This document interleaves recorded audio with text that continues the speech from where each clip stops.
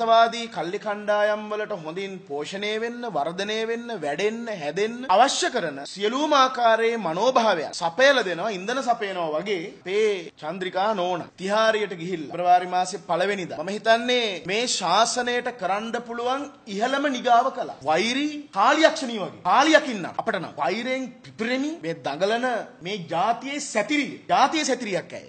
මොකද කරන්න පුළුවන් ලොකුම අපහාස කළා. උන්දට ඉතින් ආගමක් තියෙනවද කියන්න අපි දන්නේ නැහැ. දැන් මේ මොකද්ද කියලා දන්නෙත් නැහැ. තම්බි මුදියන්සලගේ පරම්පරාවලින් නීල පෙරුමාල්ලගේ පරම්පරාවලින් එන්නේ. නිසා මේ නීල පෙරුමාල්ලගේ තම්බි මුදියන්සලගේ පරම්පරාවලින් ආපු එවුන් රටේ නායකත්වයට පත් වෙනකොට ශාසනයට ජාතියට යන කල ගැන අමුතුවෙන් කතා කරන්න දෙයක්වත් නැහැ. ශූරා සභාව නමින් කණ්ඩායම නිදහස් චතුරස්‍රයට එකතු වෙනවා. එතනත් වැඩිපුරම කතා කරන්නේ බුදු බල සේනාව ගැන. අපිත් මේ ඉන්නේ මේ බලු කූඩුවට දාන්න එනකම් මේ යකින්න.